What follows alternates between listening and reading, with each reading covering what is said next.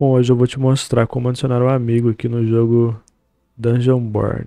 É bem fácil, você vai vir aqui embaixo, clicar aqui no símbolo de amigo e aqui tem Friends.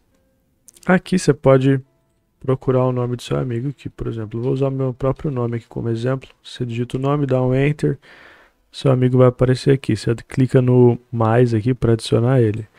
Aí você pede para ele vir aqui em Friends Requests e te aceitar. Pode ser o contrário também, ele te enviar e tal.